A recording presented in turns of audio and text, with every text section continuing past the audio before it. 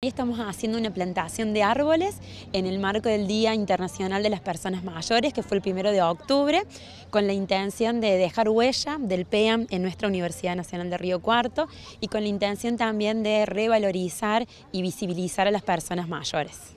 ¿Cuál es la actividad concreta que están realizando? Estamos haciendo la plantación de distintos árboles, distintas especies, en la cual hemos estudiado y tenido la colaboración de distintas áreas de la universidad para que sean eh, plantas que sean adecuadas para este espacio y que perduren en el tiempo, como justamente es el mensaje que, dejamos desde nuestro programa, echar raíces ¿sí? a partir del trabajo con las personas mayores.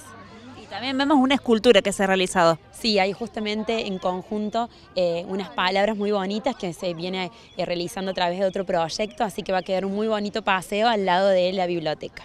¿Están participando personas de los distintos talleres del PEA? Sí, están convocados todas las personas de distintos talleres, incluso nos han venido a visitar distintos eh, actores de nuestra universidad, han venido estudiantes que han colaborado en distintas instancias con el PEA, eh, docentes de materias que también han colaborado con nosotros, así que estamos muy acompañados a pesar del clima que está un poco raro, pero la verdad que estamos muy contentos de esta actividad.